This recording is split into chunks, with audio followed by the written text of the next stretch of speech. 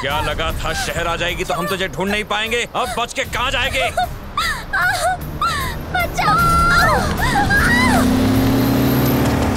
चल गाड़ी में बैठ। चल। छोड़ो मुझे। चिल्लाना मत कर। चुप कर। चल गाड़ी भगा जल्दी।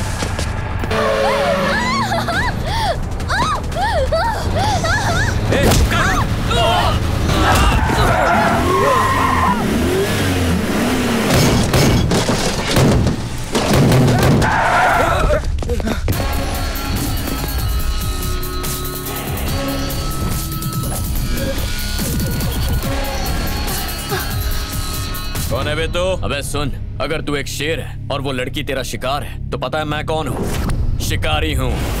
देख उस लड़की को भूल जा। आखिरी बार कह रहा हूँ निकल जा। बे तू जानता है हम कौन है? हमारी पहुँच नहीं जानता है क्या? मेरा घूसा खाने से पहले सब लोग यही डायलॉग बोलते हैं। जितना वक्त ये फालतू बकवास करने में जाया किया उतने वक्त में मैं तुझे दो बार मारता। बहुत गर्मी है ना तुझमें भी तेरी हेकड़ी उतारता हूँ। देखते हैं कितनी देर टिकता है। मारो इसे! तो आ ना।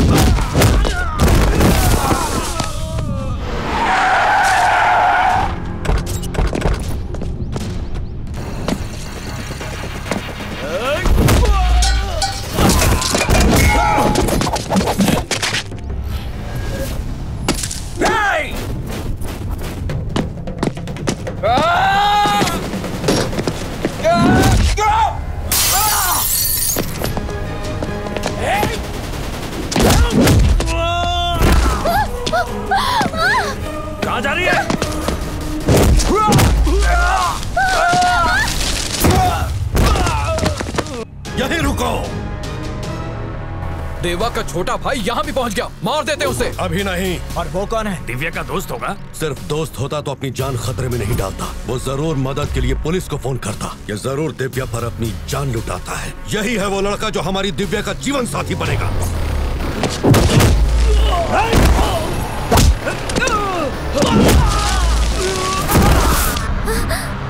पापा आप? आप यहाँ? चलो। मैं नहीं जाऊँगी। एक शब्द नहीं। चलो।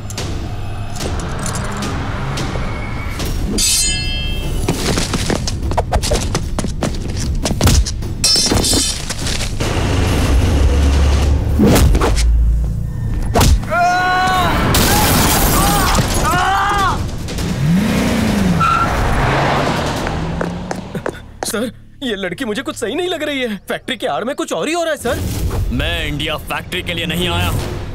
दिव्या के लिए आया। क्या? दिव्या के नाम पे अपनी फैक्ट्री पर केस करवाने वाला मैं हूँ। उसके पापा को फ़ोन करके यहाँ बुलाने वाला भी मैं ही हूँ। मेरी कहानी की शुरुआत दिव्या से ही होती है और मेरी कहानी का अंत भी दिव्या से ही होगा।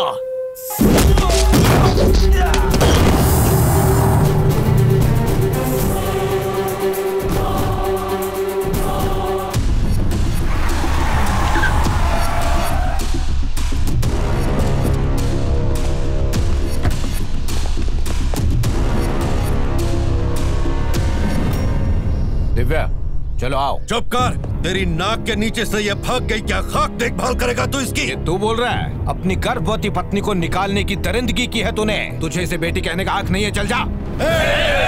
बस कीजिए पापा और आप भी मामा जी यही वजह थी मेरे भागने की। अगर दोबारा आप लोग लड़े तो इस बार मैं भागूँगी नहीं सीधा जान दे ये दूँगी। बेटी, बेटी, बातें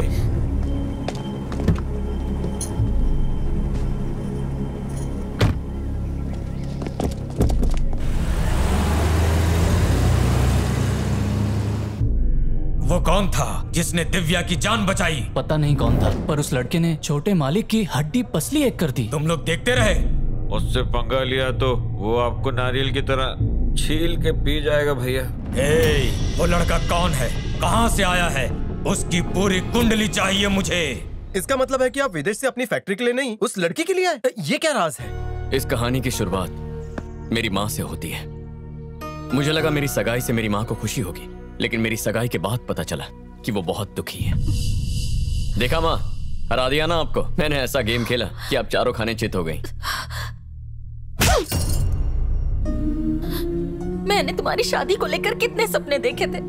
सोचा था अपनी पसंद की बहू लेकर आऊँगी। सोचा मेरी गलती तुम सुधार लोगे। अब क्या कह रही है? हुआ क्या है? मैंने तुमसे बहुत बड़ी बात छुपाई है। और वो ये कि मैं अनाथ हूँ। छह साल की थी तभी माता पिता गुजर गए। बापू ने ही मुझे पाला पोसा। है उनके परिवार ने मुझे बहुत प्यार दिया। बेटा ये सालों पुरानी बात है। मेरे और बापू के पिता अच्छे दोस्त थे। पिताजी के गुजरने के बाद बापू और उनके भाइयों ने मेरा ख्याल रखा। बापू के एक बचपन के दोस्त थे। उनका नाम था बल्ली ठाकुर। बल्ली ठाकुर की चार बहनें थी। दोस्ती को रिश्तेदारी में बदलने के लिए मेरी शादी बल्ली ठाकुर से तय हुई। और उनकी बहनों की शादी बापू और उनके भाइयों से तय हुई। मेरी पढ़ाई खत्म होते ही बल्ली के साथ मेरी शादी होने वाली थी। इस बीच बापू और उनके भाइयों की शादी हो चुकी थी। पर मुझे तुम्हारे पापा से प्यार हो गया था। मुझमें हिम्मत नहीं थी बापू को ये सच बताने की। इसलिए मैंने बल्ली को सब बता दिया। तुम ये क्या कह रहे हो?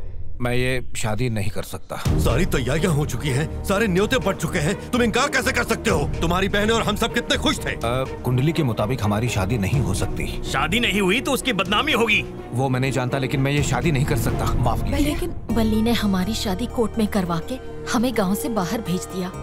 बल्ली ठाकुर के बहुत उपकार है हम पर। बापू को ये बात पता चल गई। और बल्ली से रिश्ता तोड़ लिया। निकल यहाँ से। मेरी बहन को भगाकर उसकी शादी करवा दी मैं कभी क्षमा नहीं करूँगा तुझे। अब मैं इसका दंड तेरी बहनों को घर से निकाल कर तुझे दूँगा। पति होते हुए भी तेरी बहनें विधवा का जीवन व्यतीत करेंगी। अपनी बहनों को उस हालत में देखकर तू जीवन भर खून के आँसू रोएगा। चलो निकलो। निकलो यहाँ से। निकलो। जाओ। निकलो। उस वक्त बल्ली की बड़ी बहन पेट से थी। उन्होंने एक प्यारी सी बेटी को जन्म दिया। बापू बच्ची को घर लाना चाहते थे, पर बल्ली ने देने से इनकार कर दिया। बात अदालत तक चली गई। अदालत ने ये फैसला लिया कि बच्ची हमेशा के लिए माँ के पास रहेगी, पर उसके पिता महीने में एक बार उससे आकर मिल सकते हैं। उसी दिन के बाद मैंने एक फैसला लिया था कि तुम्हारी शादी मैं दिव्या से करवाऊँगी, ताकि जो गलती मैंने की है उसकी माफ़ी मांग सकूँ। तो इस बारे में मैंने बल्ली से बात की। सरस्वती तुम्हारे इस फैसले से कुछ भी बदलने वाला नहीं है। तुम तो जानती ही हो तुम्हारे लिए सबके दिलों में नफरत घर कर चुकी है।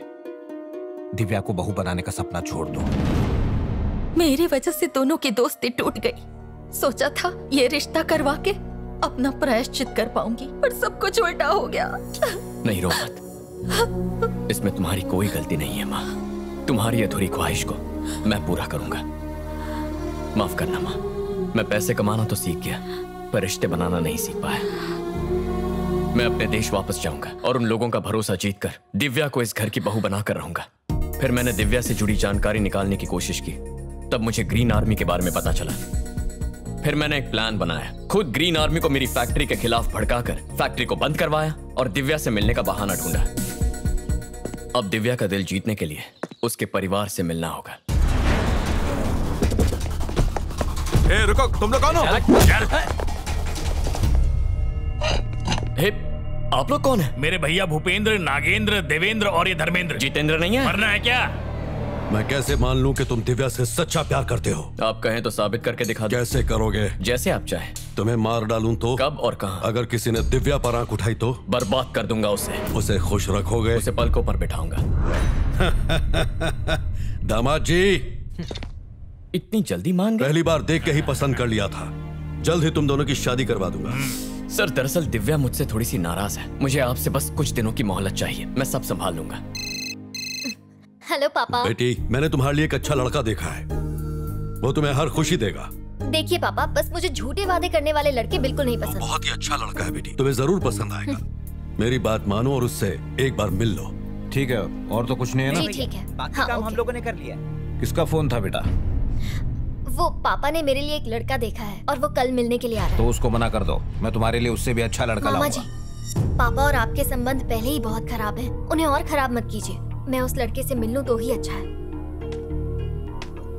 देखो ये क्या कर रही है इसे खुद पता नहीं है। इसके बाप का भेजा हुआ कोई भी लड़का आए तो उसे रवाना कर दो। और अगर अड़ जाए तो खत्म कर दो।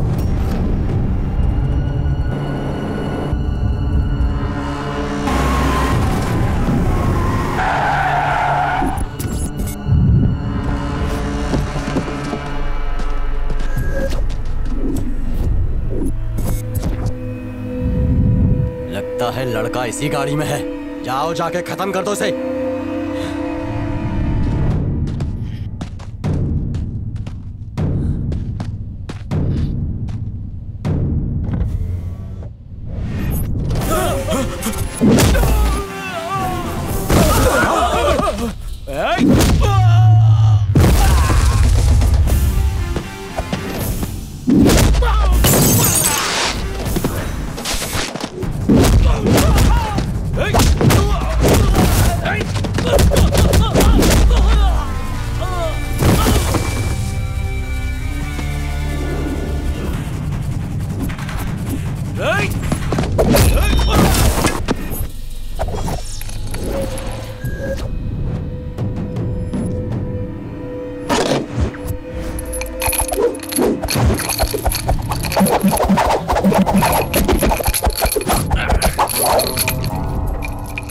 हमारे सामने ये दो डंडियाँ लेके हवा में ऐसे वैसे घुमाने से तू एक्शन हीरो नहीं बन जाएगा।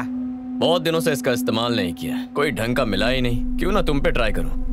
डर तो नहीं जाओगे ना? इस खिलौने से कौन डरेगा? तो चल आजा दो दो हाथ हो ही जाए। देखते हैं आज तुम्हारे ये हथियार जीतते हैं या मेरा ये खिलौना तुम्हारा नक्शा बिगाड़ देता है।